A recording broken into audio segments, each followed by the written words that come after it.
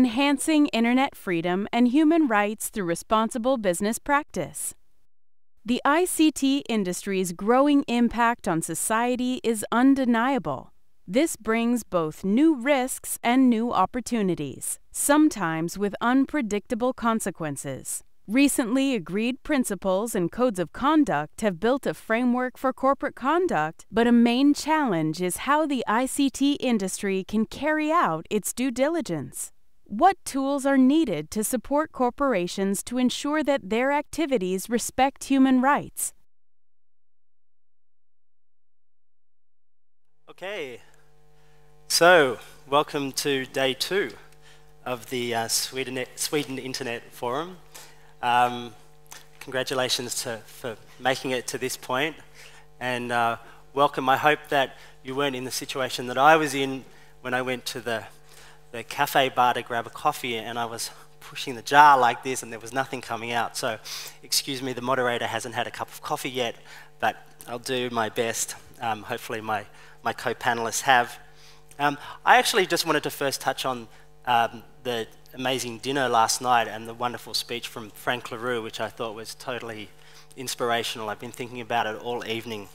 Um, this, this session will address the, the challenges and the opportunities that corporations face um, in the implementation of internationally agreed uh, human rights um, frameworks and principles and codes of conduct. We're going to explore some of the questions around due diligence, um, what sort of support do companies need when um, attempting to protect the human rights of their users? How do they ensure that their practices, their policies, their technologies, their networks, their hardware um, does not undermine human rights? Um, my organisation, Access, uh, we're a global movement for digital freedom. We believe in the importance, the fundamental importance of an open internet um, because increasingly it is the gateway to all human rights, as I think Frank um, outlined last night. Uh, we held the Silicon Valley Human Rights Conference at the end of last year, which brought together technology companies to try to get them to understand the human rights implications of their platforms. I think at the outset, we really need to acknowledge uh, the significant and important role that, that telcos and internet companies have played in actually enabling the right to freedom of expression.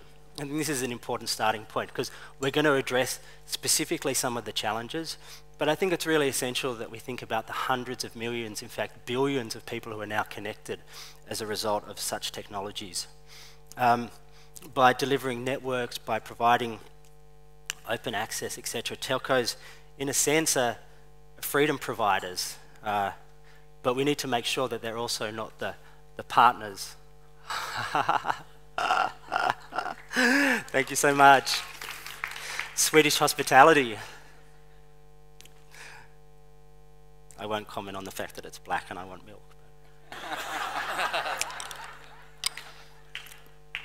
um, so, so we have with us some freedom providers uh, uh, um, sitting on either side of me. We need to, as I say, to ensure everyone get comfortable, uh, that they're not the, the the partners of dictators. Um, so users' rights to access to freedom of expression and to privacy are threatened. Uh, we've seen Narus, for instance, which is a subsidiary of the Boeing company, uh, selling sophisticated surveillance equipment to Egypt. Uh, we've seen California's uh, Blue Coat systems um, being used in Syria. Um, and so these are some of the hard questions that I think we'd like to discuss today, honestly. Um, We've also, of course, seen some of the, the television programs, uh, the television program last night, uh, which looked at TeliaSonera's role in some of the uh, countries, including uh, Azerbaijan and Belarus.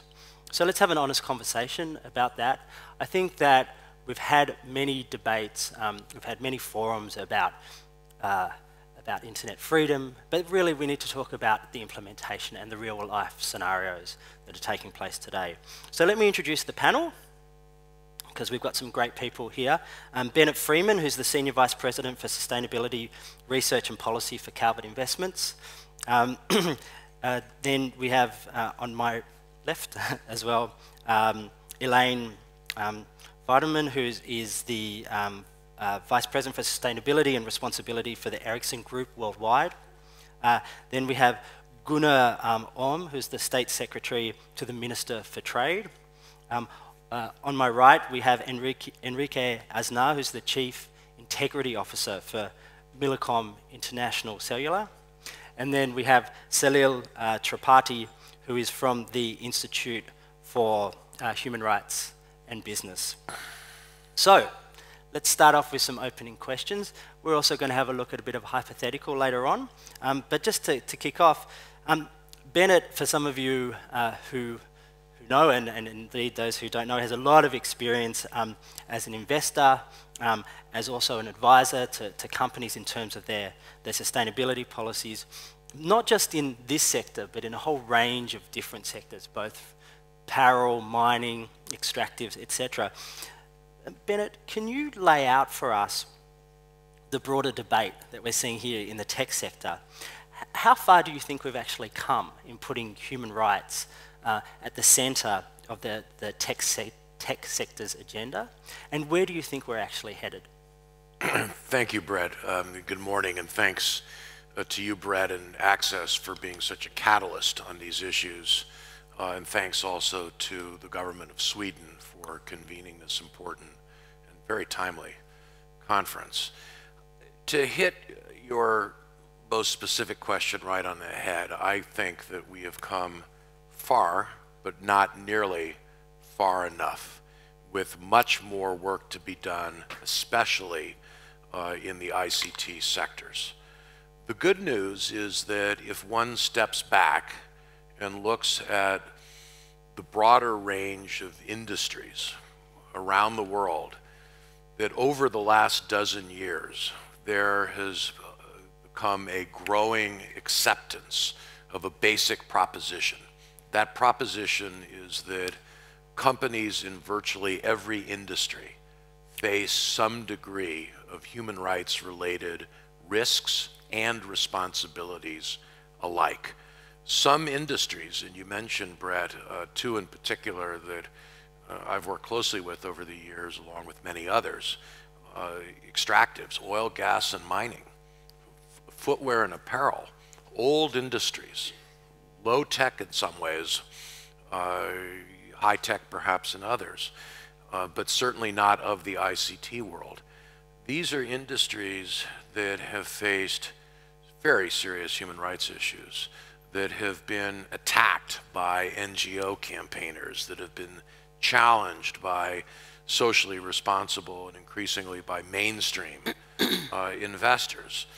The good news is, is that in those sectors and a number of others, there are now standards, guidelines, principles with real operational content which are guiding companies in assessing their risks and embracing their responsibilities.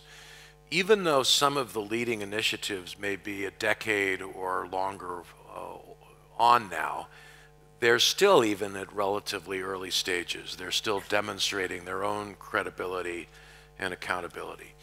When one comes to the tech sector, my uh, frank view is that for all of the extraordinary technological and social impact, technological innovation and social impact of the ICT sectors.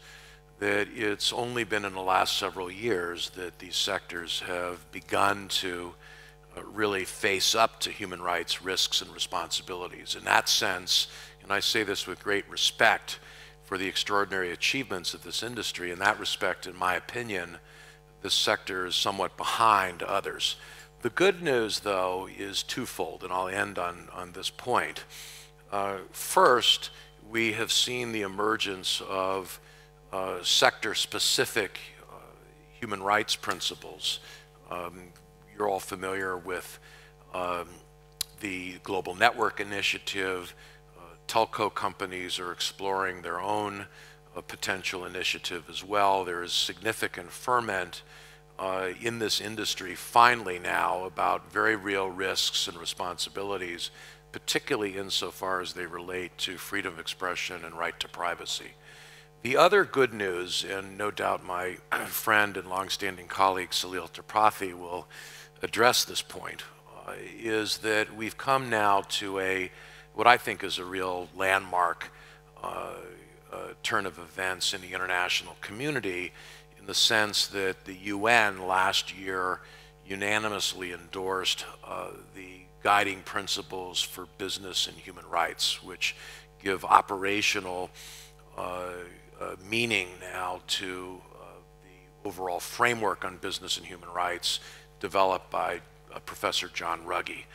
Uh, and we'll get into more of a discussion of that, I'm sure, but the basic uh, utility for companies, including in this sector, uh, in the guiding principles is, excuse me, in the guiding principles is the due diligence process. And I would say that as an investor, but also as one who works with a number of human rights NGOs as well as with governments, that the first step is to understand and assess risks and the due diligence framework embedded in the guiding principles. And I should add that the, uh, that, uh, the Global Network Initiative, GNI, also includes a very specific risk, risk assessment uh, framework as well, are a starting point.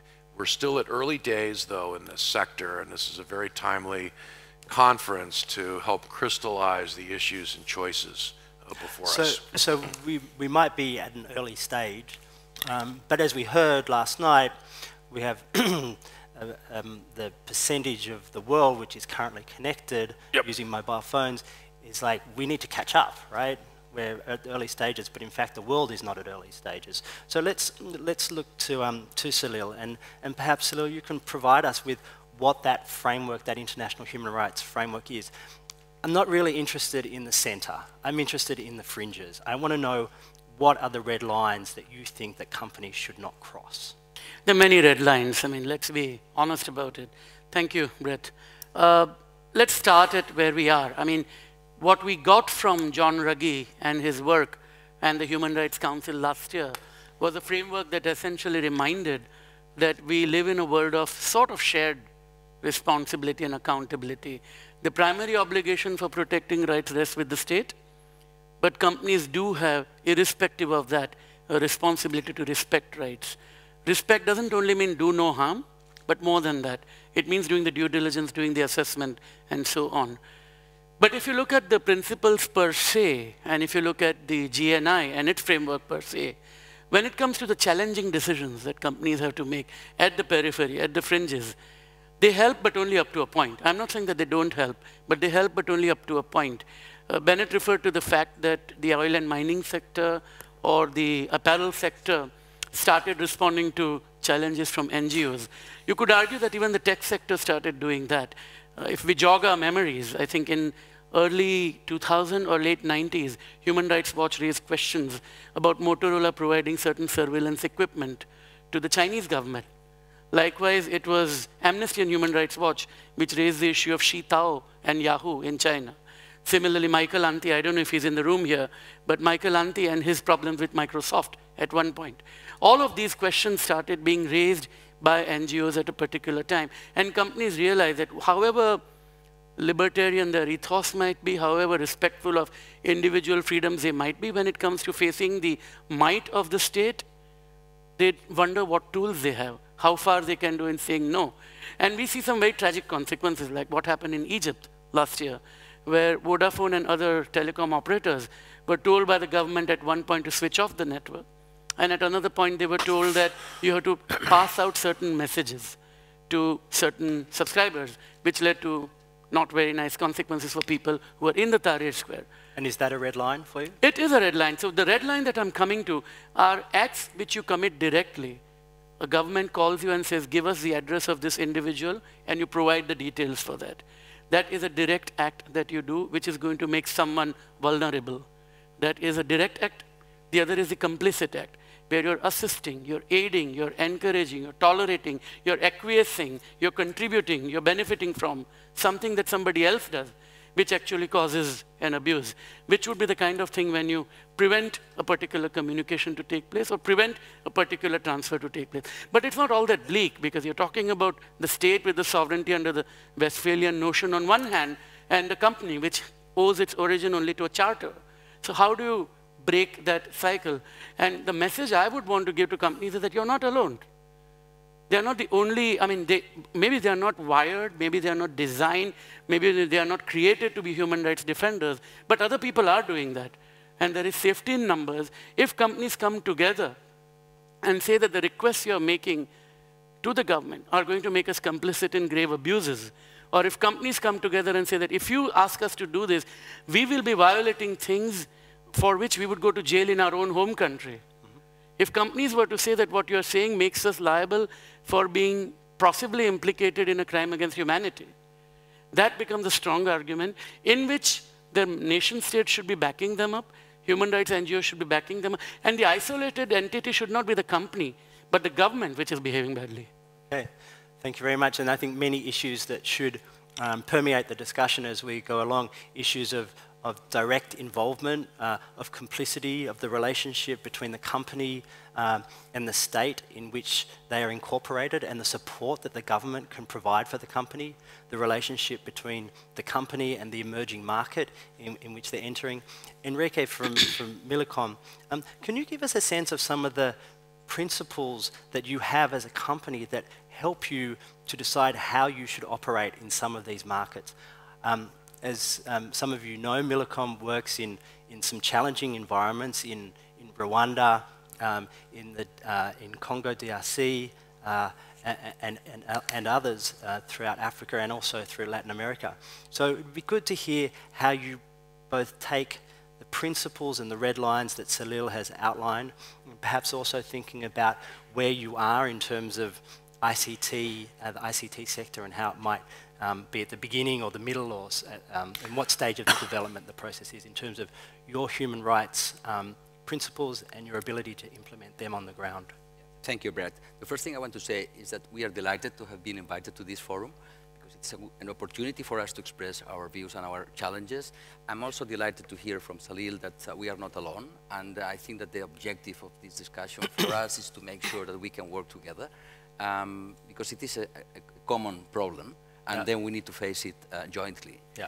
Um, as you said, uh, Millicom is, uh, is a mobile operator. Um, we are part of the Kinnevik group. We operate in 14 countries uh, in Latin America and Africa. Um, many of them have been described or uh, classified as not free by Freedom House. Um, they don't rank very well in Transparency International's ranking um, we face, and some of them have been even defined as failed country, failed states. Uh, so you can imagine that the challenges that we face in those countries are huge. On the other hand, we um, serve 30 million um, people in these developing countries. 60% um, of them um, fall within the definition of bottom of the pyramid. They spend an average um, of $5 per month.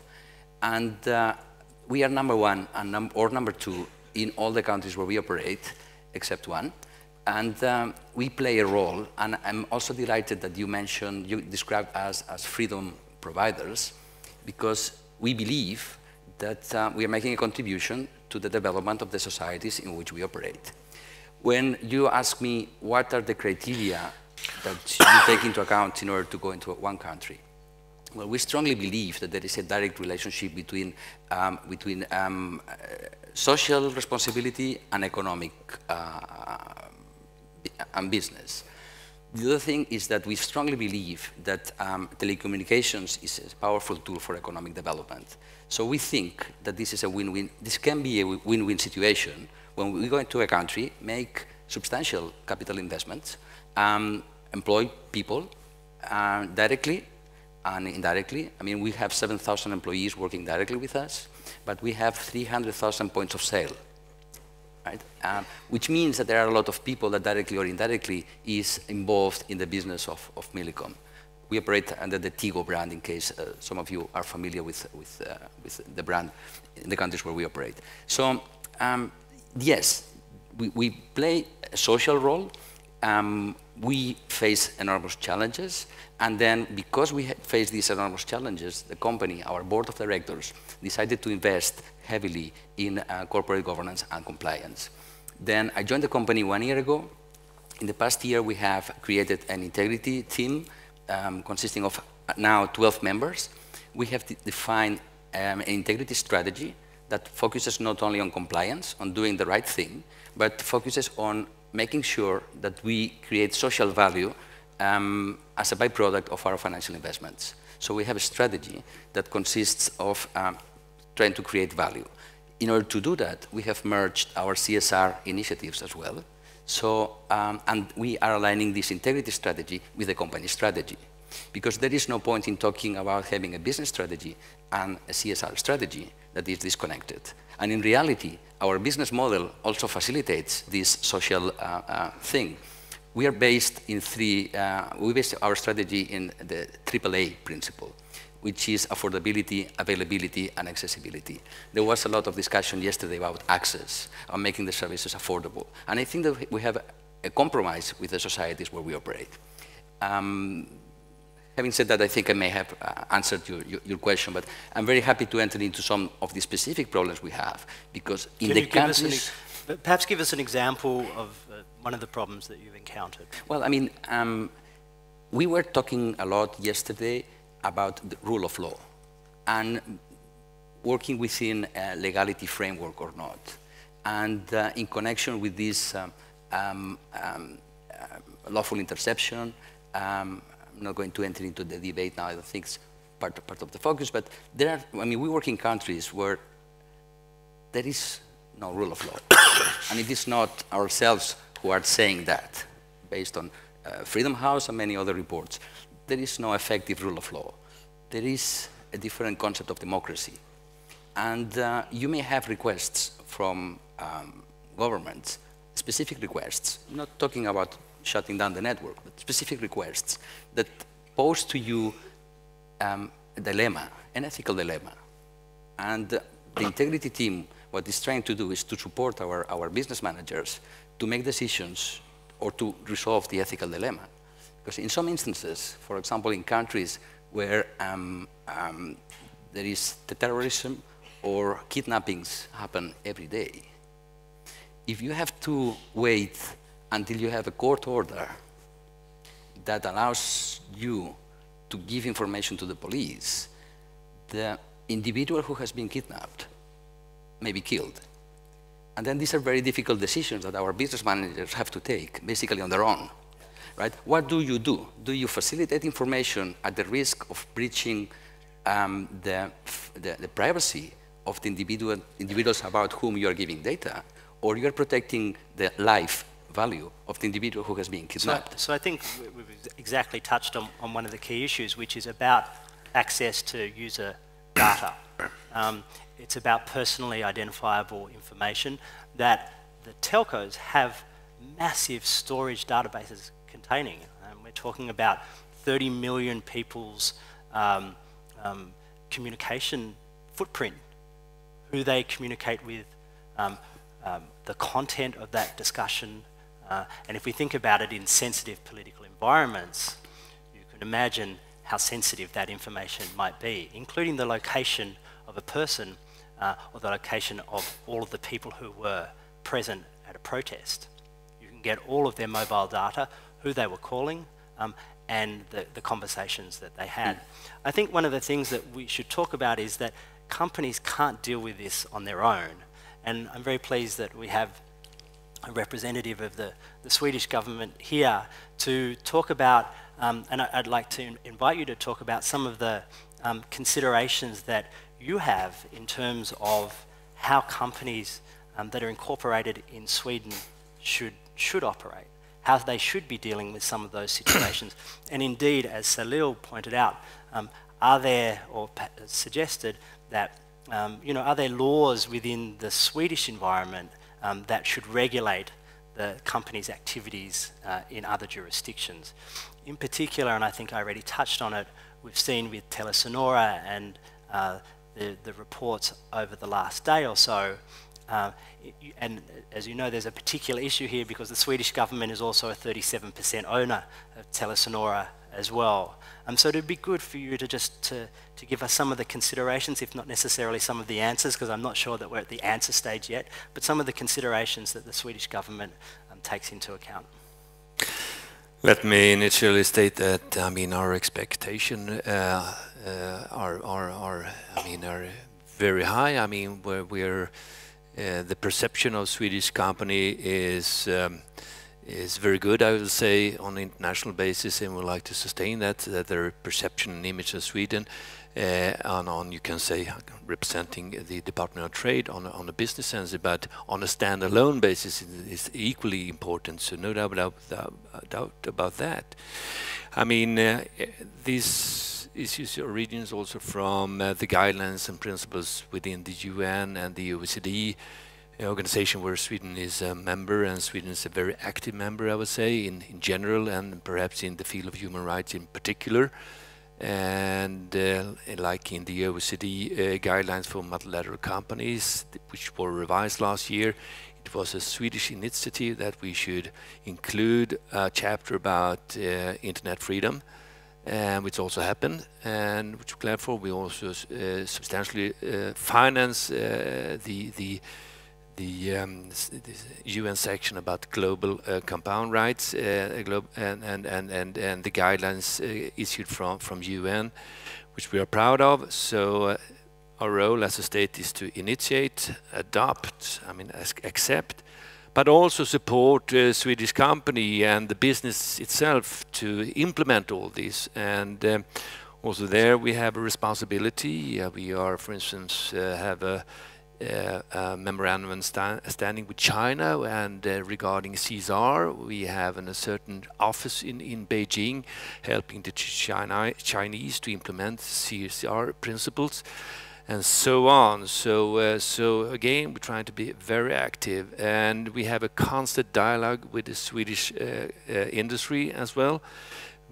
this conference is an, is an example and and uh, so we are on on on, on many many ways uh, an important uh, player. But let me say, but we are responsible to start somewhere, but also the, the, the regarding the enterprises, they also have a responsibility to, to start somewhere. So we li like to see that we are we are. Uh, uh, putting the framework in place, we are supporting them to, to implement, but uh, the process itself should, as we say, should be company-owned and company-driven. We can't, as a state, that we shouldn't, as a state, be everywhere. I mean, this is a corporate responsibility, truly co uh, corporate responsibility, supported again with guidelines and, where needed, laws. And um, let me also state in in in what happened uh, yesterday. I was in Lithuania, so I saw it on internet that uh, the discussion about uh, Sonera and uh, and there is a certain chapter in in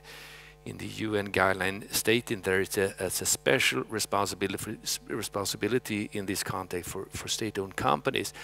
Obviously something that is uh, we have to take very seriously and and and I would say that state-owned companies should be a shining example in this field. And uh, and if not so we better do something very quickly about it. So what happened yesterday we'll perhaps come back today was that ministry for uh, for um, uh, the financing market I mean uh, had a meeting with the uh, the management and also the chairman of uh, TeliaSonera and discussed this issue and gave them a homework to do and come back and report. Perhaps we'll come back to that later. But again, uh, the state's role is important, but we can't be responsible everywhere. We have to be in dialogue with, with the companies. And again, I like to see every Swedish company act in a very uh, uh, uh comprehensive way in regard of this, this principle, yes. And one of the things that, that my organisation Access has put out is a telco action plan, which tries to give telcos a framework to be able to deal with situations like this, how to respond to requests uh, for data, for instance. Should it be in writing? Uh, should there be a law which authorises there to be a request for such data? Uh, who actually made the request?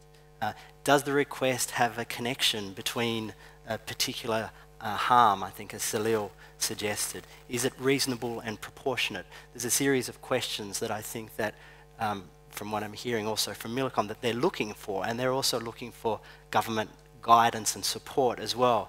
In fact, what I often hear is that companies say, we really need government help. And what I hear governments often say is that companies really need to take a lead on this. And, And if we come back again to Salil's point, is that you're not alone and that the companies are not alone. We've heard about the industry dialogue.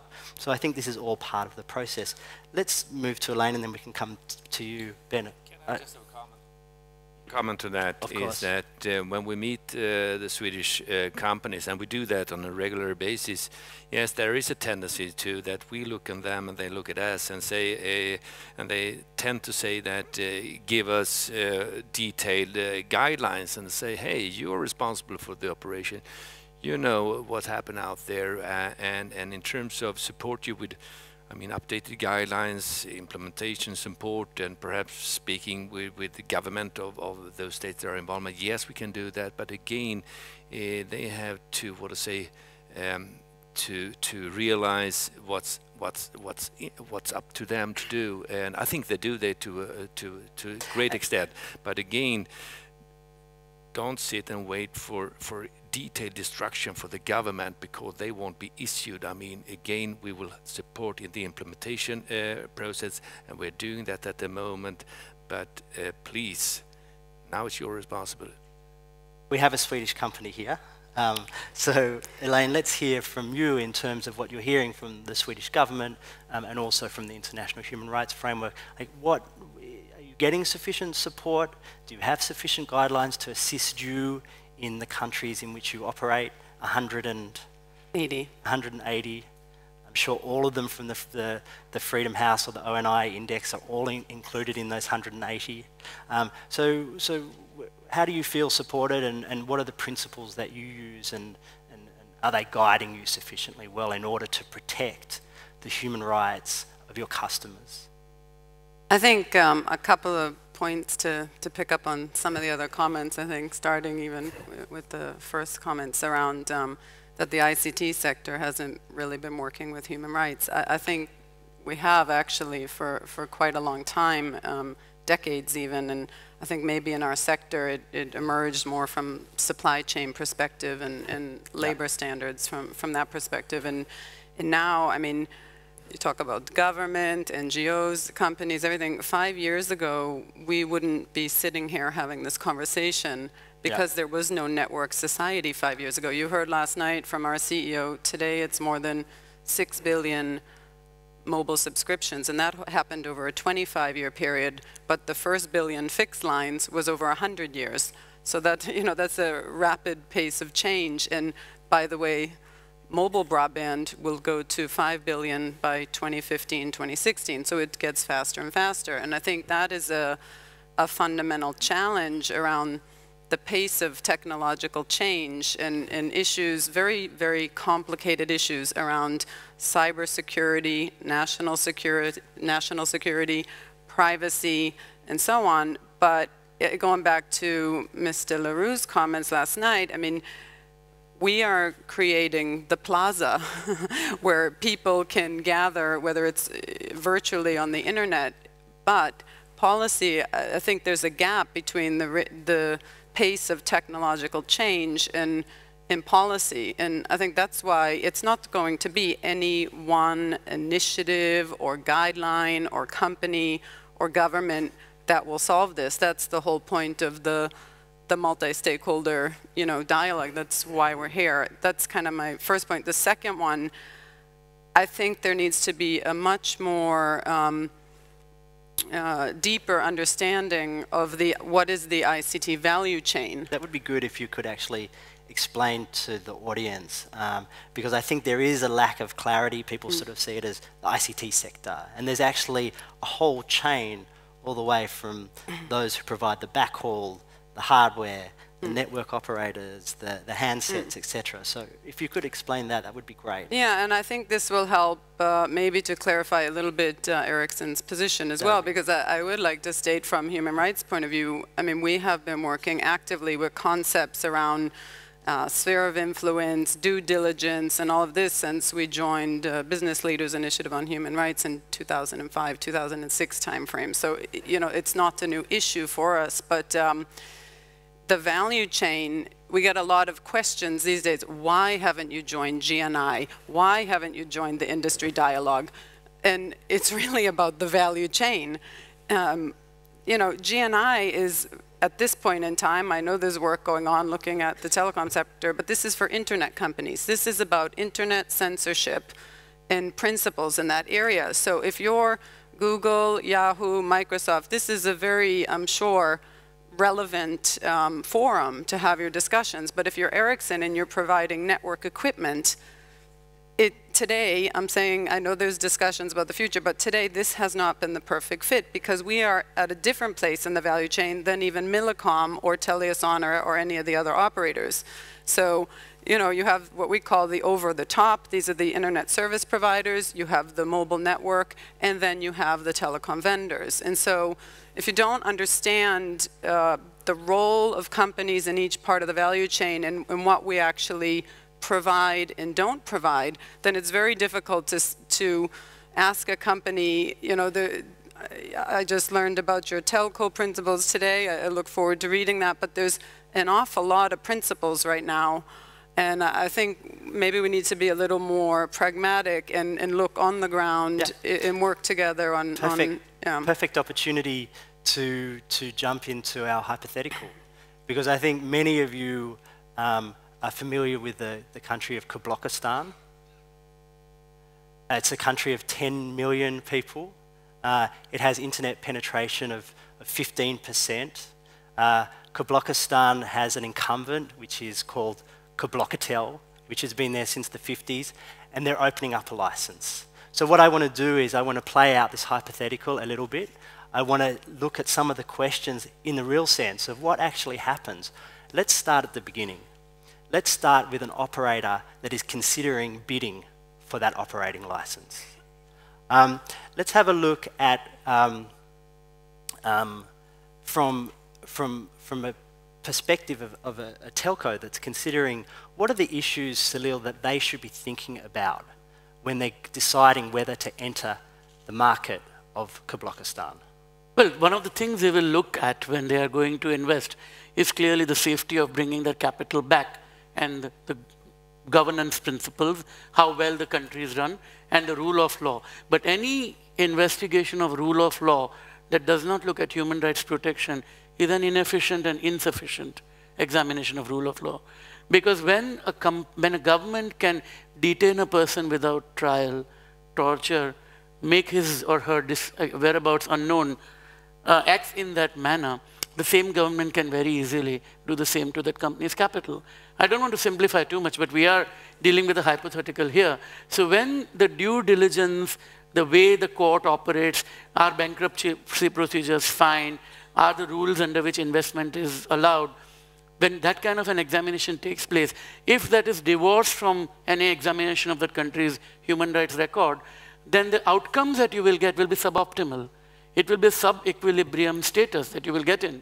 And you will end up making decisions thinking, oh yeah, yeah, they do torture dissidents, but our investment will be safe.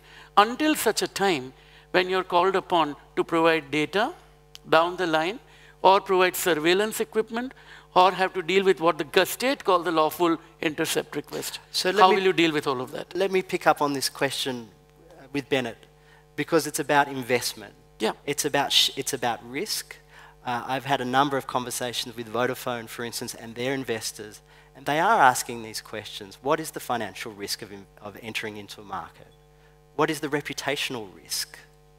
What is the legal risk? And there are legal risks because some, we've seen cases where there have been individuals who have been detained, who have been tortured, um, and the data, the information that has been used for the so-called trials has been uh, gleaned from, from networks um, and from operators. So Bennett, let's, let's un unpack this question of what are investors looking for? What sort of real due, due diligence should you be telling the, the uh, Millicom, if you were an investor, for instance, uh, in, in that company? What would you be asking them to ask?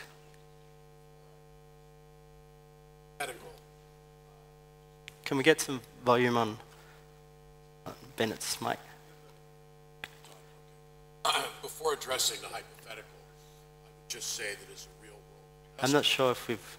Yeah, it's, it's not, it's not. Yeah. I would just say first as a real world investor,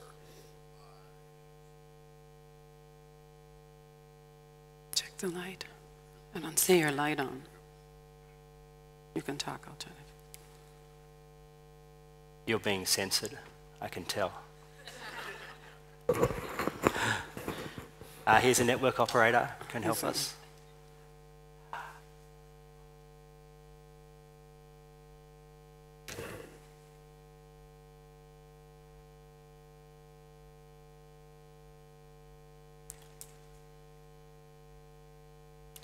Do you want to talk?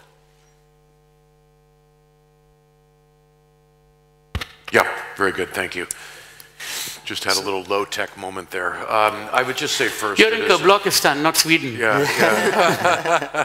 I mean, Thank before sir. getting to the hypothetical, I would just say as a real-world investor, as Calvert, that we got very interested in exactly these issues half a dozen years ago as we saw a number of companies uh, in the ICT sector, but especially internet content providers, uh, run into expression and, and privacy issues, not only in China, but in, very, in a lot of markets around the world. And we became very concerned uh, about the uh, ability of those kinds of companies to operate in countries with authoritarian governments that would make extraordinary demands for personal data, for example, uh, on uh, whether those companies could operate in those markets, uh, comply with those demands, which we thought violated basic human rights principles, and at the same time maintain user and customer trust and, and protect their brands. And we, Right.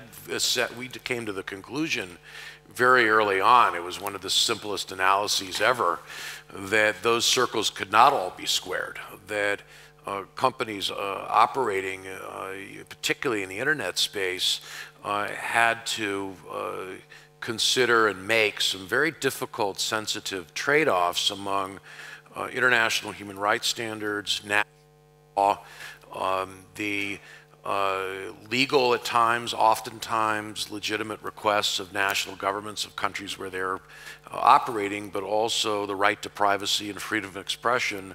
And of what did you say to them? I mean, and what we said to them that these are that there are no easy answers, that there are extraordinary dilemmas, uh, and there need to be standards. But as a prelude to standards, there needs to be uh, an understanding um, that, that, be, that includes investors, but really takes place in a multi-stakeholder setting of what the different risks and issues might be.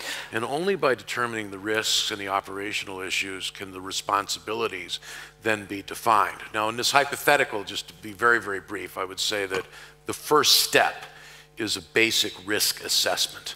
And risk assessment, of course, is a common practice in the investment world on issues that have absolutely nothing to do with human rights or even rule of law, uh, of just doing a basic uh, assessment of an investment proposition in a particular uh, industry or country. Um, but here, there are particular tools that can be brought to bear, whether it's uh, uh, classic political risk analysis, which has been a, an established discipline for several decades, uh, a more general rule of law and human rights analysis between Amnesty and Human Rights Watches, the U.S. Department of State's country reports on human rights, Freedom House, many other sources. Companies can avail themselves of, I think, pretty dispassionate uh, research on human rights conditions in different companies, uh, countries. But here's the key point: is that there are, uh, there is now a growing body of work of human rights risk assessment uh, for companies, and this is a movement which got going first in extractives, uh, oil, gas, and mining, and has developed over the years and then gained the imprimatur of Professor Ruggie and his mandate in highlighting the utility of, uh, of risk assessment. So that's where I would So let start. me ask, let me ask you in particular, and perhaps give you a few more Yep. additional pieces of information in the hypothetical.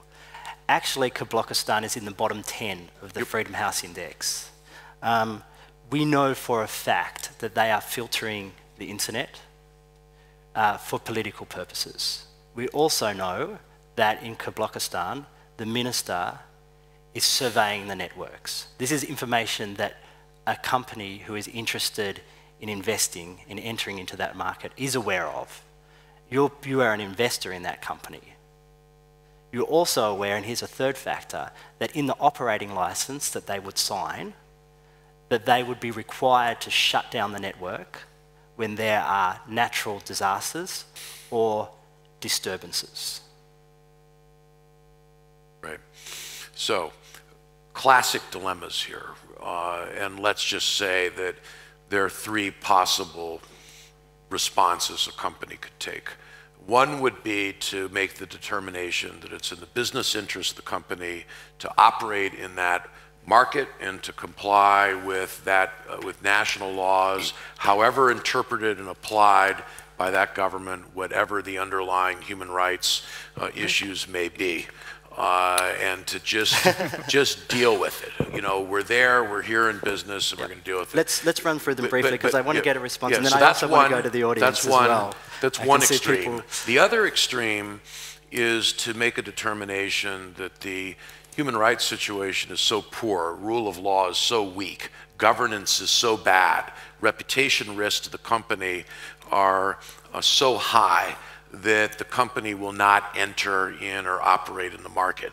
I actually think that that's a courageous decision uh, when it's made. It's rarely made. I'd like to see it made more.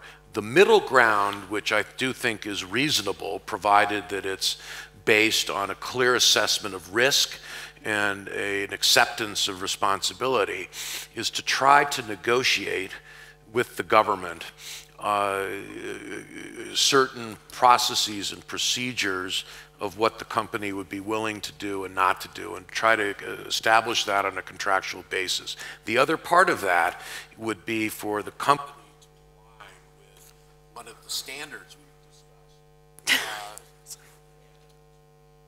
transparent with users and citizens, users globally, citizens, users, netizens in that country about what the company may be filtering, for example. And there are examples of that practice. So that's a, a big gray area, and I don't want to label it as being wrong. I think that it's an Okay. area, that and GNI provides for that. So let's assume in the hypothetical that we have that contract, Yep.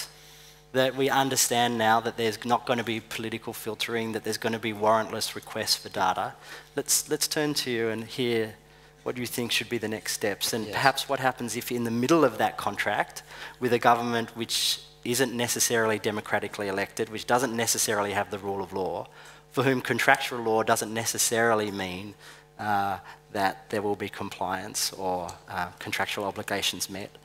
Well, I think that uh, mm, I would like to address the convenience or not for a company like Millicom to invest in that country.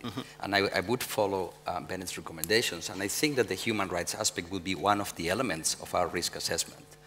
Because of the beliefs I mentioned at the beginning, I think that the citizens of that country would be better off by having a company um, like us in the country. Because we can bring, we can help them develop, and we can help them protect their uh, rights. Apart from providing access to a number of services, not only in, in, in the telecommunications, but also in banking, health, etc., etc. Um, so I think that the first element would be, yes, we would look into that country, despite the freedom um, of expression risk. Then um, we have embraced the United Nations Global Compact principles, and we um, welcome the guiding principles on business and human rights. Um, in order to expand on and, and try to put in place some specific actions, we have started, we are part of this industry dialogue. I'm privileged to work with uh, Milka Pietikainen, who started uh, the dialogue when she was at NSN, and um, now she's working with us. The uh, dialogue, um, and there is going to be a session, side session in a few minutes um, on, on, the, on the industry dialogue, um, pretends that operators and, and uh, infrastructure providers get together and discuss principles, discuss tools, and discuss ways to mm, influence um, or to resolve specific situations that we face. In, in, the, in the specific example, going back to your point, and, and in connection with uh, uh, previous comment about companies having the responsibility to do, uh, things. We, we, fully agree that uh, it is the responsibility of, of uh, companies. Companies have a responsibility to respect human rights, but we cannot do it on our own. Mm. Right? And then when we face a situation of a potential violation of uh, freedom of expression, we would expect to have the support of our host governments to help us communicate to the home government, um, sorry, the other way around. Mm -hmm. I understand. To our home governments to, to help us influence the host government that what they are proposing to do is in breach of internationally accepted standards. So because let's, let's in, uh, just, just to finish up, in, yeah. in one situation where we have somebody coming from the regulator of the government to our office, talking to the general manager, asking us to do something, right? Um, we apply our protocol. Have you identified the individual? Does he have powers to do this? Is he mentioning a, legal requirement? The guy on the phone is telling me, Enrique, you don't understand. This guy is the head of the Secret Service. I don't need to I ask him to identify. I know very well who he is. And if I don't do what he's asking me to do, I'm on a plane tonight. Yeah. Right? So we have this issue of staff safety, and I think it's an important issue if you think about uh, with Vodafone in Egypt, for instance, it was a gun to the head kind of situation, reportedly. Um, uh, so often I think this issue of staff safety might trump some of the questions that we ask. You know, is it properly constituted? Uh, is it in writing? And does it comply with local law? Uh, is it reasonable and proportionate? Uh, but let's just hear from Salil in response to uh, the company actually entering into the market. And now let's just add another piece, which is that the political situation is actually becoming more tense. And so the president needs to have real-time psychographic um, um, data of the opposition. They want to know who. They want to know who they're friends with, they want to know who they're connected with, and they want to know when the next protest is. Okay, so there were three things I wanted to respond to. I want to respond to the staff safety issue and this dilemma. So let's and look at when, and then the final done, dilemma I promise first. you we'll come to the No, let's look the at the final point first. That the president wants to know all this um, sensational data, which is nice. But my answer would be that the company should not be in a position, should never have been in a position when it is a surprise for them that the president is capable of making such requests. If the company had done proper human rights due diligence, it would have known way before, before it even knew that Kyrgyzstan existed on the map, that this is the kind of government it is. Governments that turn authoritarian don't turn overnight. There are tendencies, there are reports, there are, there are arguments about it, there are warnings posted alongside. So if the company can't simply say, oh, we were there, we thought it was like Sweden or Norway, and suddenly we found it was Kyrgyzstan. It's never that. It's never that. That's the first point I wanted to make. About staff safety, again, it's something similar, that if the assessment was done properly, then the company would have known that we are in a country where the rule of law is arbitrary, where the state security force can turn up with guns and demand whatever it is that they want. Do you want to be in such a situation? That's the choice that the company has to make. There may not be a law about it, and there should not be perhaps a law about it where a company should operate, unless there are uh, UN sanctions in place. In that sort of a situation, what is the company to do? It has to therefore make that assessment so rigorous and so robust as to be able to anticipate that there may be really bad red lines which we may have to cross in this country. And if so, maybe it is not a smart thing for us to do, particularly if you're carrying a Scandinavian flag or a Western democracy flag or whatever it is. That's something worth bearing in mind. Couple of other points. The warning sign that came up for me in the scenario that you were laying out was when you used the word natural disaster. When you said that in the context of natural disaster, a network can be switched off. And I just thought, how silly can that be for a government to demand that? In fact, when there's a natural disaster, it should unjam its defense frequencies and get more capacity so that people can identify and get in touch with their loved ones who might, because the towers might have collapsed and there has to be some other capacity to be in place. Red Cross would need those frequencies. So in fact, what I would want to see is that why does the government place such a condition in the investment scenario? And one final point is about going to a country and saying that we go because, and this is not to pick on you or not on Global Compact, but Global Compact Principle 2 clearly says don't be complicit. Now, if you look at the kind of scenario the country says, the risk of being complicit is so high that if the company is a global compact adherent, it would really want to know why. And it's not simply a question of if we don't do it, somebody else will. Because, or if we are there, it's good we are there because we adhere to all these principles. I'll give an example from the oil industry. When the war was going on between North and South Sudan, or rather within Sudan at that time, one large oil company was providing aviation fuel to the Sudanese Air Force. What was the Air Force doing? It was going to the south, bombing places. People were having to flee to Uganda and Kenya as refugees. The ground would get cleared up, and people were able to explore for oil in that area. At that time, if I were in a village and my village was going bombed, would I feel better that the company that provided aviation fuel has signed a global compact? No, it's irrelevant. That's okay. my point here. So perfect, perfect opportunity to to um, get some questions from the audience. And I think what we've what is increasingly clear is just the complexity here. That there are no simple answers. That sometimes you find yourself in markets in which in where you're being asked uh, to be complicit or uh, have a direct involvement in the abuse of rights. Uh, and sometimes, as Salil uh, pointed out, you should have known before you entered into that market that this is a likely scenario. I'm also glad that you, you, you raised the issue of, of um, armaments as well, or at least um, the, the supply, the, the support for armaments in the form of oil. Um, many people are saying that surveillance technology, for instance, should be treated in the same way as guns. Uh, or, or, other forms of, of, small arms. So let's move um, to the to the audience.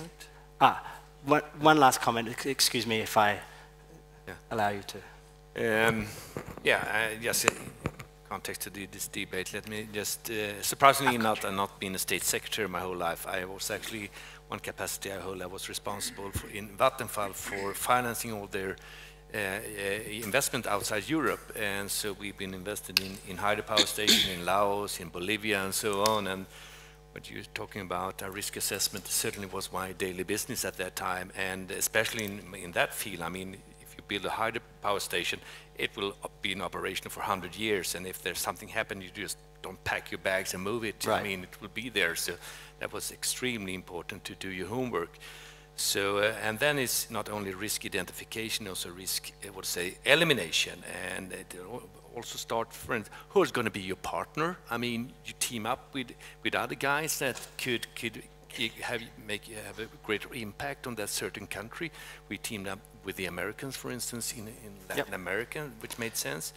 In terms of financing, well, there, what type of institution do you use? Multilateral bank, you use a, a, de a development bank, export credit agencies, state controlled, state uh, uh, supported, and in terms of the Swedish export credit agencies, yes, they have guidelines from, from, from, from us stating that they should be extremely um, careful in terms of uh, um, um what we discussed and, and, and, and, and uh, corporate social responsibility that is in the guideline from us.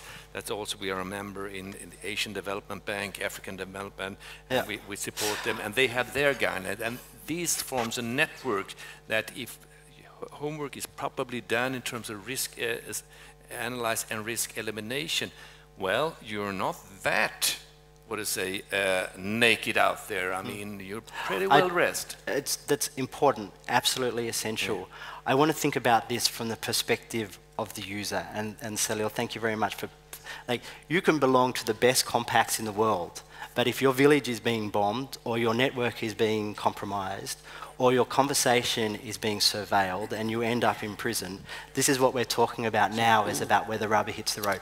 No more comments from the panel. I've got a question up here from a lady over here uh, and then uh, and a gentleman down here. Could I please request that you have about 90 seconds maximum to either make a comment or a question, if that's okay, because there are a number of people who want to speak. Thank you very much. My name is David Isaacs, and Global Reporting here in Sweden. I have two comments. Uh, Gunnar Oom, uh, two questions, I put them sharp. Gunnar Oom from the Ministry of uh, Foreign, Foreign Trade in Sweden. Uh, your, your minister, uh, she was very much involved in the, in, in the attempt to sell surveillance equipment to Libya in 2010. and you were, I, don't, I think, don't think you were Secretary of State at that time, but my question to you, would you be involved in the same sort of business today with Bahrain, Saudi Arabia, or any other countries? Uh, is that sort of business you will continue to do from your own perspective, from the morale perspective? Uh, I would like to ask uh, Millicom, you, we saw the program uh, on the Swedish television yesterday about how TeliaSonera, your competitor, is cooperating with Belarus KGB and other, other uh, se secret service companies. You were talking about kidnapping this or that, but to be sharp, are you having the same sort of practice, the same sort of cooperation as uh, TeliaSonera has with, with uh, surveillance equipment, with, with this sort of uh, services you. like KGB in uh, countries where you are operating? I'm going to take the second question from this lady over here. We can get the microphone to her, please. Okay, if you can just keep it short and sweet, that would be great. Comment. Um, I, I think structure follows strategy, and I know of very few companies that have, A, more than one person looking at CSR, let alone human rights, and almost none of them have a board person responsible. But here's my question to you. Why don't more companies say to governments, there is no scientific and technological progress without freedom of uh, speech and privacy rights, right, property rights, uh, your right to control your property, and that's yeah. your Okay, so all that, why don't they make a business case for it more often? So that's my question, okay. and people could respond. Thank Great. you. Okay. Uh, let me get a response from these two questions, and I'll, I'll come to you. Uh, Gunnar, would you like to respond yeah, to, um, in particular to this? Sure, sure. I mean, uh, one of my role in, in the ministry is to lead Swedish industry delegation out in the world. Next week I will be in Kazakhstan, for instance, and uh, we think that is vital. We think that trade makes difference. We think uh, trade is an Im important component in terms of changing the world, and we support Swedish investment. And of course, we do not uh, support either equipment or investment that is not in, in guidelines with our export uh, guidelines or uh, the UN regulations and so on. And the specific item, namely the, the, the trip to Libya a couple of years ago, you should be very much aware of, and hopefully you are aware of that, that what uh, that company discussed uh, was nothing that was presented before, for, for the minister herself. So that was an equally surprise to her like everybody else, what, what they brought up. And uh, the lesson to learn that, that uh, before every industry delegation, we meet with the, with the with, with the, the participating companies in order to find out what are they going to promote and, and, and uh, to whom are they going to make a business so we can understand for ourselves is this uh, well it, does this make sense or not? So okay. but again being uh, heading an industry delegation in tough markets is a, is an, is an is an objective and is a role of mine and I think it makes sense. Okay. Did you want to respond to either of the questions? Well I, I would say I can uh, not comment on on the issues our competitors are facing, but uh, definitely these are things that uh, I expect to discuss at the industry dialogue level to make sure that whatever things may have happened uh, are resolved uh, soon, trying to engage with whatever stakeholders we need to engage. Uh, still, on the, on the hypothetical case in connection with uh, Salil's comments and other comments, as a citizen of the hypothetical country, I would feel better or more protected if companies like Millicom, uh, who are accountable for, to shareholders, um, accountable to a number of other stakeholders, are present in that country, even if there is a risk of human rights violations in connection with freedom of expression, uh, than otherwise. Because if, if the alternative is that international or multinational uh, companies should not enter countries where there are these kind of risks, we are going to leave um, the citizens in the hands of the incumbent that happens to be controlled by the repressive government. So I think that considering all the other business risks, um, I would still be better off um, as a citizen thinking um, there is somebody who's accountable to other stakeholders who's uh, present there. Just 30 seconds on this. Sorry, yeah, just 30 seconds. I don't know if Michael is in the room, Michael Anti, and I shouldn't speak. Oh, you are here. I mean, one of the examples, I remember, maybe I read it wrong at the time of your problem, that you chose to go for the Microsoft blogging network because you thought that because it was a Western and American company, there'll be better protection of your identity than a Chinese partner. And yet the company failed. So all my point about raising, and Michael can tell his story eloquently and brilliantly. I shouldn't do that. But, but in his case, what happened at that time in 2004 and 5 in China, that he did trust the international company and that company failed. That's my point, yeah. Uh, Elaine, could you just perhaps respond to this question about the economic argument of an open network? And are these some of the discussions that you're having about the, the we've, we heard yesterday, the 1% increase in, in penetration uh, or mobile coverage results in an X percentage increase in GDP? Is this a relevant argument? Yeah, I, I, I liked that question actually because um, that actually is our core business. Our core business is about, you know, even right. we used to talk a few years ago about the next billion mobile subscribers. Now we talk about the last billion.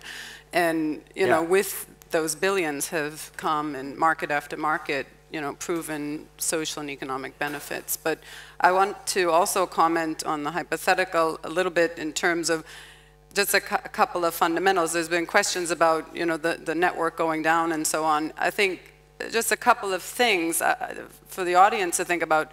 The whole principle of a mobile network is that the network can find you. The whole that right. is the concept of mobility, that wherever you are in the world, someone can call you and they can find you. Because right. you could have international roaming and, and other issues, but, but that is you know, the fundamental principle. Another fundamental principle of telecom is five nines. 99.999% of the time, the network should be functioning. That's the business. And if the network goes down, it's a lot of money being lost. A third, um, there's a lot of discussion about surveillance. You know, every network, according to international standards, needs to account for lawful intercept to fight crime, to make sure that you're, if you're in an emergency, that they can find you. Now, the, the line is where you cross if um, that is that type of functionality is misused. Right. That is that is the delicate line. But as a company, I think one thing the new UN principles bring and some of the other initiatives is the um, open discussion about due diligence. And, and we know in for us, we don't have new countries that we go into. We've been in many markets for more than 100 years already, and the regimes come and go. but still, our basic principle, our basic core business is about providing communication. But we have taken other decisions in consideration of due diligence. We do not provide surveillance technology. That's why certain sanctions don't apply to us. We're providing standard GSM equipment 3G, 4G, all over the world. And as a company, you have to decide about the products you sell, about the markets you're in, and about who you choose to do business with. Those are the three core issues uh, for due diligence. Yep, thank you very much. Uh, nice and brief, please, if that's okay, because I have literally a sea of hands. Sir, please. Okay, thank you very much. Uh, I must say, when we come here, we are not coming here to only ask questions. We also make comments. So I, no, like no, that's fine. But I'm just saying that okay. there's a limited okay. amount of okay. time, and a I number. Just wanted, I just wanted to and say a number that, of other people who want to speak. I just wanted to say Thank that um, some of the core challenges that I, I see as a professor is that there is um, compatibility between the corporate uh, aims and objectives. The corporate business is, whether it's an investor or not, is to make profit. And there are also organizations whose core business is about people. So the point is trying to strike a balance between the profit motive of corporations, whether it's IT or anything else, and at the same time to incorporate corporate social responsibility so that they are part of society and therefore contribute to the, improving, to the improvement of the living condition of the people. So what I see here in our discussion is you're talking about human rights. I also teach human rights. But I think the issue is not yet properly addressed. Uh, I teach at the university where there is no right to information, to knowledge. A lot of digital uh, information is kept, is, is commercialized. So in fact, you cannot, you cannot get free education. Yeah. And that implies the right to education is also violated. So how do we strike a balance between the right to information, the right to knowledge, between is it digital uh, knowledge, as well as the right to pr privacy, the right for companies to make profit. So I think we need to make uh, uh, a strategy. And the only way strategy that I think will be workable is to redefine the role of the state to redefine and restructure the role of companies, which would include corporate social responsibility beyond making slogans, and also enhance the role of civil society so that the three of them, the three of them can negotiate, can strategize, and come up with a fair world. Thank you. Uh, I think I, I, would have liked to, take, uh, to say many things, but okay. I think that's a, it's, okay, a, a, it's a wonderful intervention because I feel like actually we're part of that process. Uh, I have a question here, here, and then the gentleman there. Um, if we could just get the questions in rapid fire and then sure. we can also get my a response. My name is Mohammed Al Abdullah. I'm from Syria. And my question directed to Ms. Elaine about Ericsson working in Syria. You just said in your last line, we have to be careful about the market we're entering. And we, uh, if the information or the technology was uh, misused in, in the countries we're working. And here's, I'm, re I'm reading from Radio Sweden. It's an article in November 25th, saying the Swedish telecom giant Ericsson is supplying the Syrian regime with mobile phone technologies that makes it possible to follow what the opposition there does, reports Swedish television. And in Ericsson's response in the article saying, Ericsson says it cannot be responsible if its technology is misused. I would go with the, bad, with the good willing, and I know, I see, you're not supplying them with the bad technologies, you're supplying only the good thing, but everybody, almost 100% certain, the Syrian government using this technology to track people and assassinate them, not only arrest them. And there's 13,000 people get killed, and there's crimes against the humanity reported by the UN Human Rights Council in the three and four special sessions in Syria. And you're still in that market.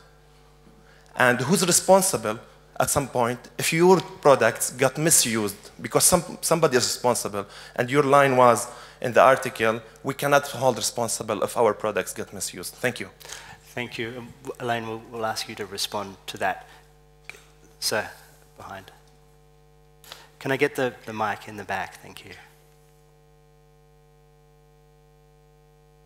Thank you. Hi, my name is Carlos Dada, and I come from El Salvador. And I'm a journalist, and I want to ask a question to representative from Millicom. Uh, because my colleague just made you a question about your company, not about your competitor, but you didn't answer it. Uh, I heard you saying that sometimes, because it's a matter of, of life or death, uh, you can't wait for a justice court order. So you just decide with your people when to break the law to give information away to governments. Uh, you're a private company. Uh, promoting human rights means uh, helping consolidate institutions and the rule of law. I'm just wondering how many times your managers have given away information to governments because they thought it was the proper thing to do. My question is, how many people, political activists, uh, journalists, are being surveilled because one of your managers resolved the ethical dilemma, as you call it, uh, in a way more convenient to a government than to the journalist. Thank you. Thank you, sir. Two, two very challenging questions, and, and thank you for um, you know, being so honest and, and um, articulate in, in, those questions. Um, we'll get a third here, and then we'll get a response from the panel. Thank you. I'm Youssef Sharif from Tunis, Tunisia. Um, you know, you were talking about um, the, um, helping social business, helping banking, etc., uh, and improving the life of people in these countries. But this is like soldiers drawing hearts and flowers on a nuclear bomb.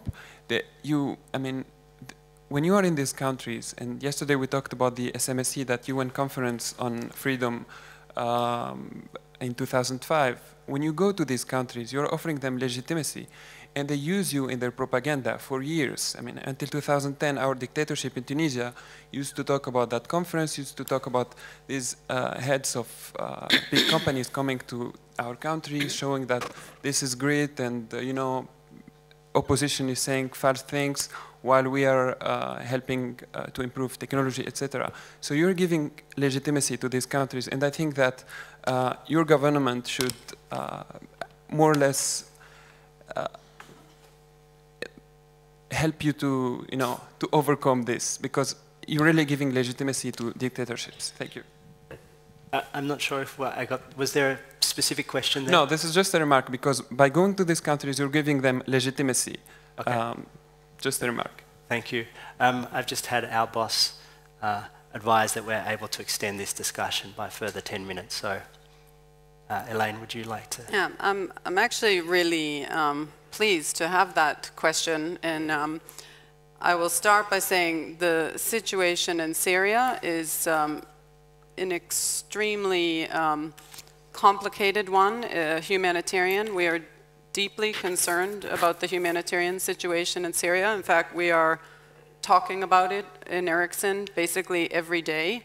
And uh, I think this is a, a perfect example of um, a fundamental dilemma because um, from my perspective, working um, for many years with human rights issues, I, I, would, you know, like to also pose the question, um, will the humanitarian or human rights situation in Syria improve if companies like Ericsson are, are, leaving that market? And I know that wasn't your question, and I'm going to comment on what you said, but, but this is a, a broader issue for the, for the 10 million subscribers in Syria. And in the case of Syria, I, I would like to um, correct something that has been falsely reported in the media, and that is that Ericsson has provided surveillance equipment to the regime of Syria. We have not provided um, surveillance equipment to the regime in Syria. We never have, and to my knowledge, we never will. We have provided standard GSM equipment, and our very strong belief is that um,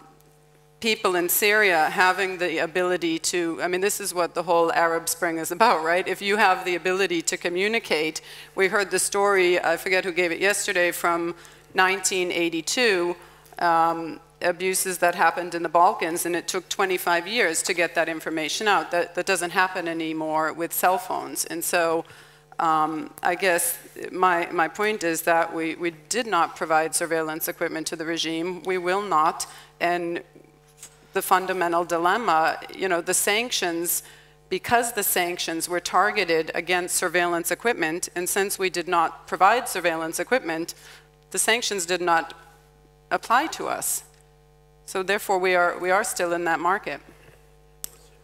Yeah, could I, could I, yeah. my Please. question was, you have 60 employers working in Syria, and they're working for the STE, the governmental body, which is responsible for monitoring people I'm not suggesting by any way Ericsson doing that work, but you're doing a work, helping agency is targeting and identifying people and assassinating them in systematic basis.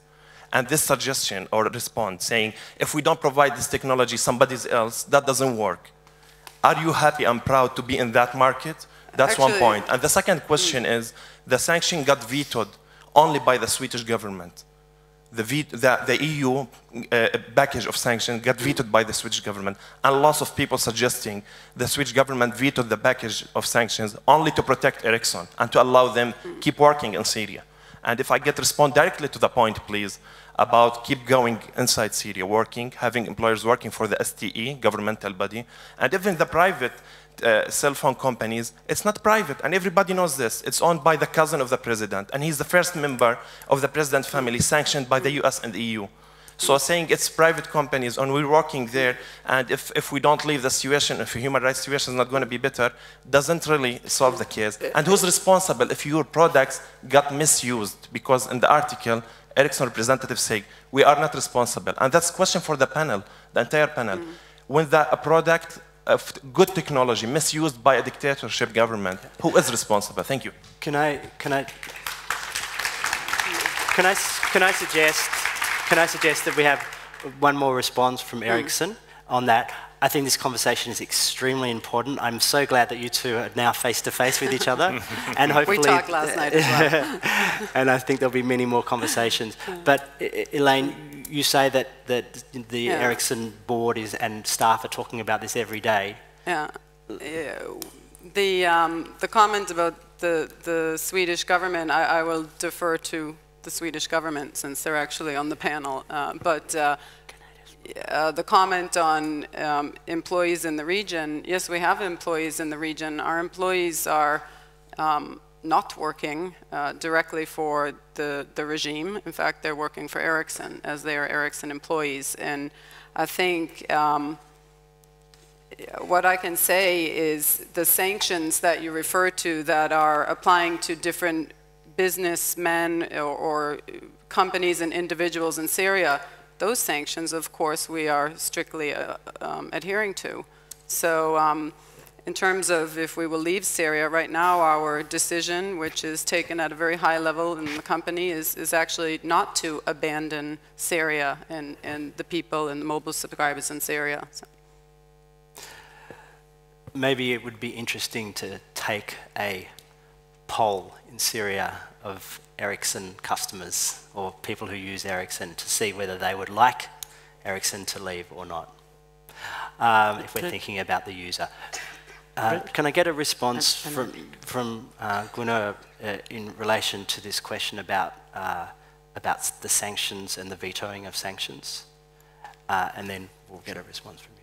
And Sila, I'll also ask you to join. Yeah, yeah just, I just mean, briefly, if it's, it's correct that we did not support the initial sanctions suggestion from EU because we, we thought and we still think that an operational mobile network is more to the advantage to the people than the government and that is something that the Arabic Spring clearly demonstrated.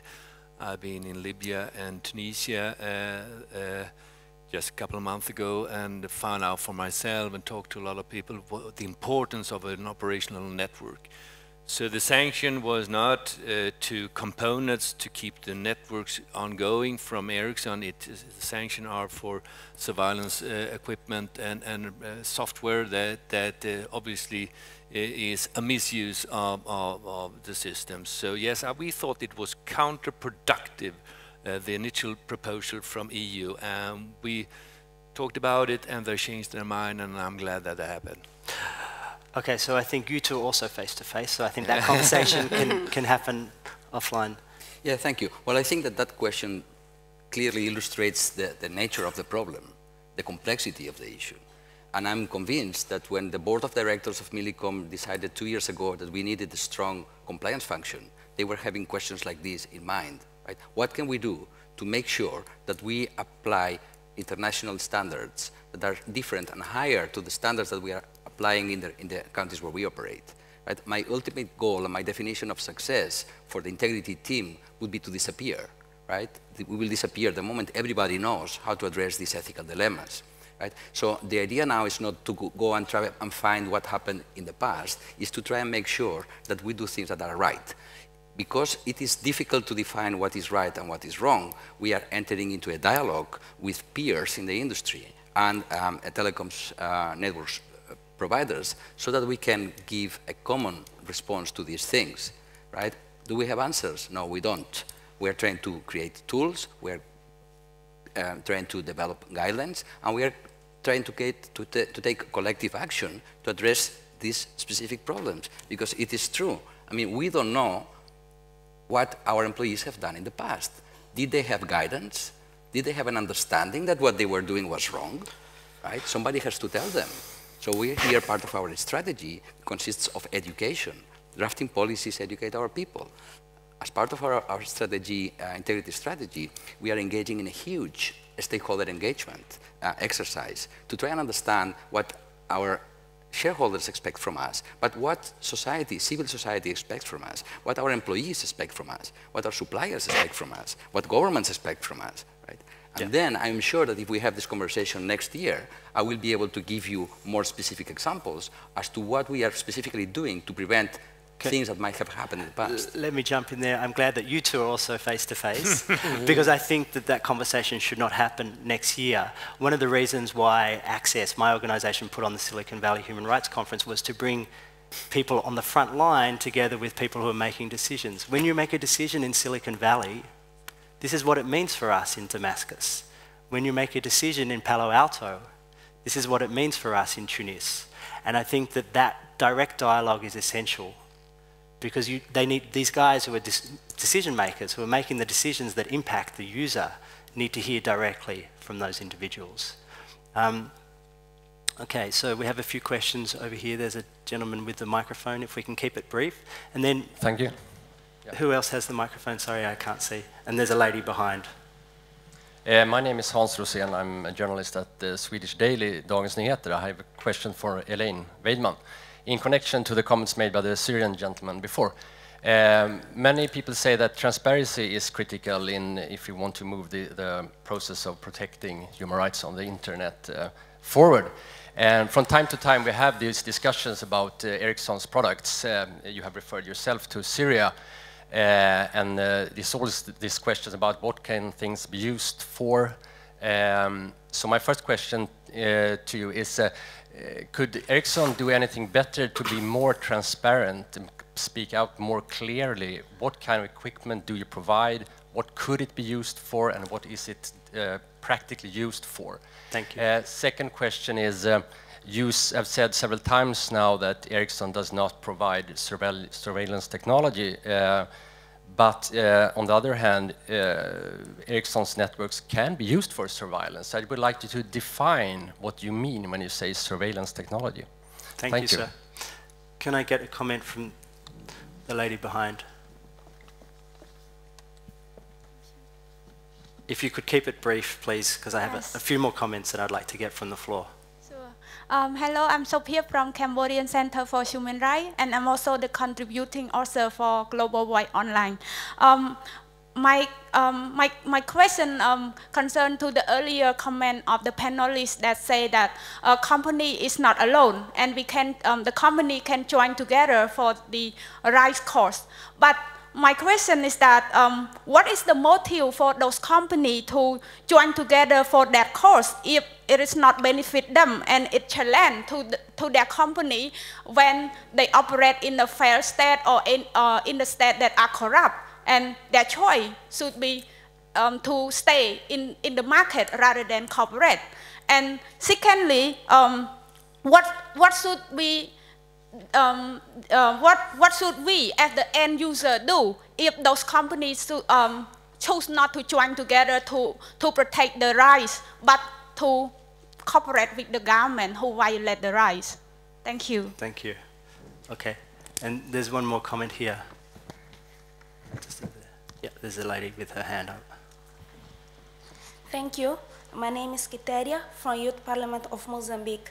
Uh, my question is, uh, how do the companies define that there is an autocratic market in one country? Because many times we see that, especially in developing countries, companies do not pay attention to oppression of people in internet while there is no revolution only after revolution is that countries really help, companies really help and take uh, and help people because many times they are, they are in partnership with governments that are oppressing people. And we have an example in Mozambique that uh, one month ago, uh, students with scholarship in Algeria demonstrated pacifically using internet. And then as a result, government said, used companies to discover who are the leaders of this demonstration and say, decide to repatri repatriate to Mozambique all the leaders of the uh, demonstration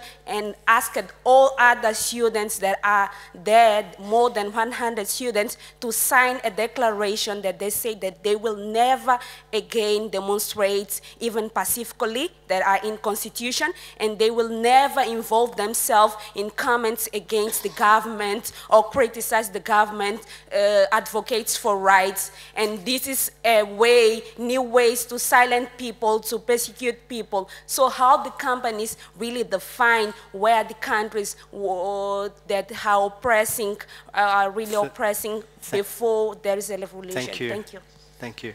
I think that, that might be the, the last question because I'm getting very stern looks from, from people here, including from the digital curatorial team, who I haven't asked once, so I will ask. Can you okay. sum up 500 tweets in... in um, I think there's been more than 500 tweets, but... Um, I, am sorry. Yeah. uh, apologies to, no, I don't know. to the Twitter sphere. Uh, no, but it, I, I, think that the issues have actually been covered quite nicely by the, by the crowd. So hopefully yeah. they're reflective. Yeah, I think so too. But um, I got one question that might sum up this question, the discussion a little bit, and um, that is: there are national laws and universal human rights. Which one are you going to adhere to? Okay. So let's finish off with that question. Salil. Okay. All right. So I, I noticed two questions which were relevant, and the last one I'll take a stab at. Uh, the question was about I think the, the, our friend from Cambodia asked about the comment I made about the companies are not alone. And she wanted to know what the motive is of companies, if I got it right. And if I were to put it very honestly, frankly, to me, the motive doesn't matter. It may be reputational. It may be to prevent a legal risk. It may be to avoid a boycott. It may be because of the fine feelings with which the CEO gets up every morning. It doesn't matter so long as the impact and effect of it is positive for human rights. If that is the case, frankly, it doesn't matter what led the company to do it. It would be great if the company thought of itself as a human rights defender, but it is not designed for that purpose. We are all aware of that.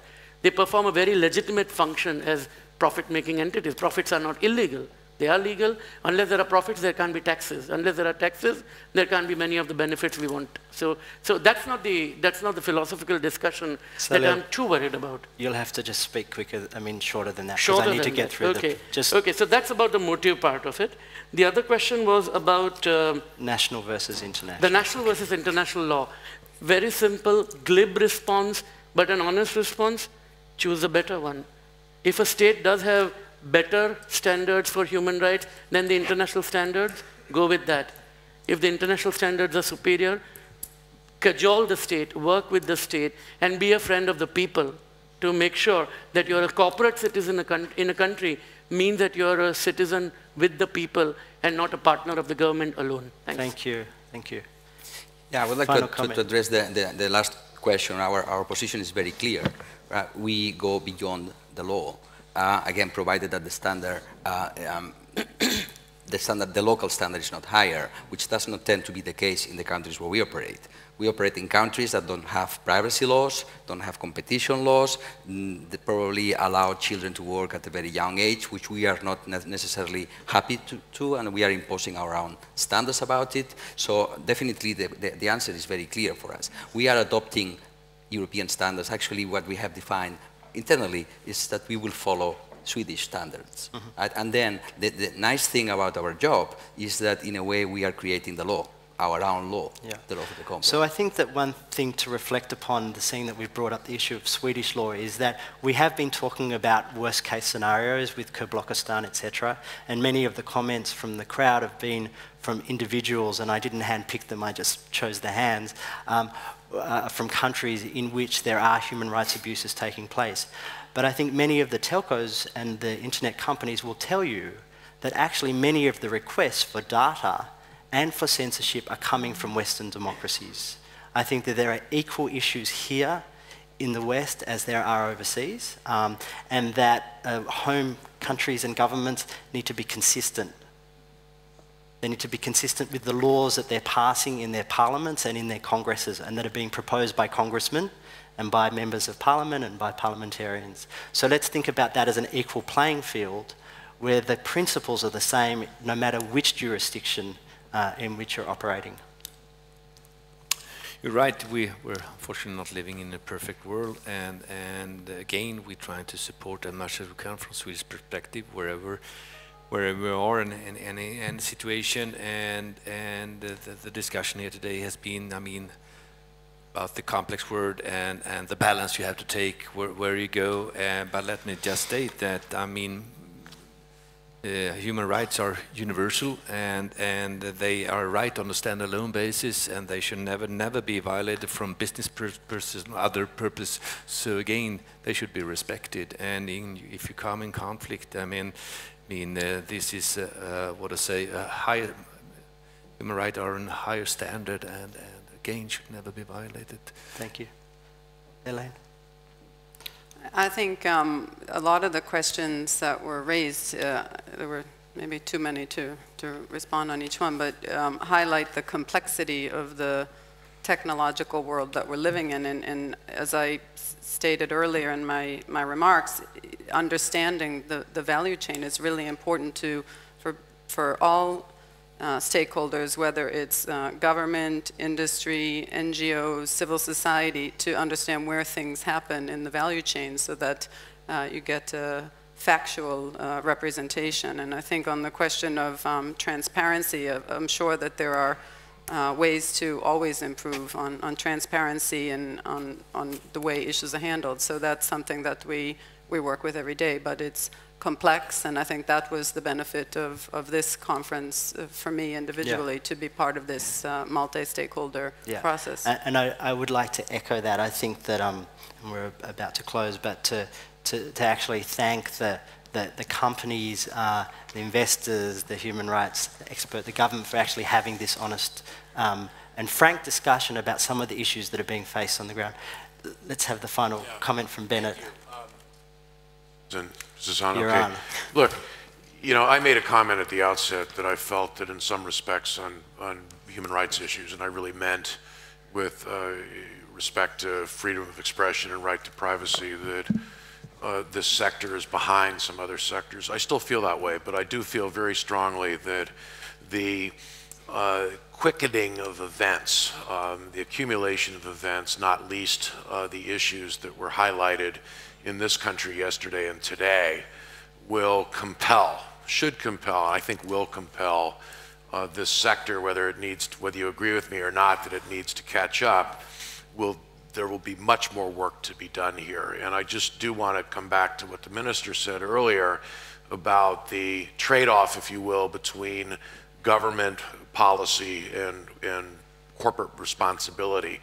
Uh, I think that either one on its own is inadequate in these kinds of situations. I think it's critically important that in this case the government of Sweden is majority owner or substantial minority owners, 37%, summoned the company and you gave them homework. I think that's very appropriate. But uh, I think that in this kind of situation, and I really mean this generically beyond this particular incident uh, and set of issues, that there is an important role for home country governments of these companies to give clear guidance and at some time, in some cases, clear recommendations yeah. to companies uh, as to what the red lines should be and where they should be drawn. And there are plenty of precedents for that in other industries, oil and mining among them. These issues are too complicated uh, to be left merely to governments or companies alone. We need to work on them together in a multi-stakeholder context. Thank you.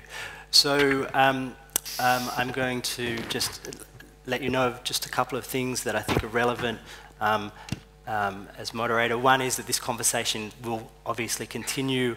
Um, the Silicon Valley Human Rights Conference is next sitting in Rio, May 31st, June 1st, which, which is, a, which is a, a, a, conference which is specifically designed to tackle these issues. So it's an open invitation to people um, to attend that. Um, I'm also going to abuse my position as moderator to tell you that I have copies of the Telco Action Plan, uh, which, uh, which you can have a look at, which tries to set out a framework uh, it's informed by the Ruggie framework and, of course, the G GNI uh, as well.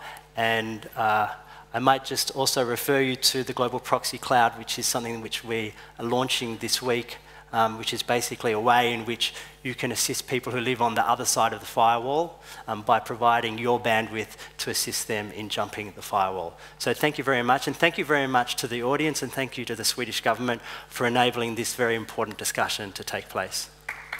Thank you. Thank you.